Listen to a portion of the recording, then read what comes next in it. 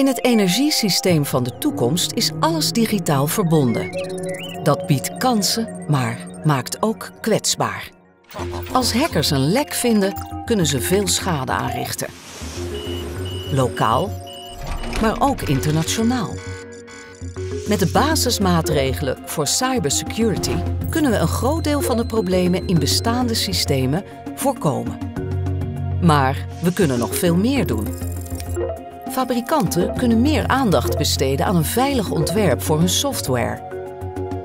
En die beveiliging blijvend onderhouden. Bedrijven kunnen hun systemen minder kwetsbaar maken, om zo de toegang tot ons energienet beter te beschermen. En grote energieopwekkers kunnen elkaar te hulp schieten als een van hen wordt aangevallen.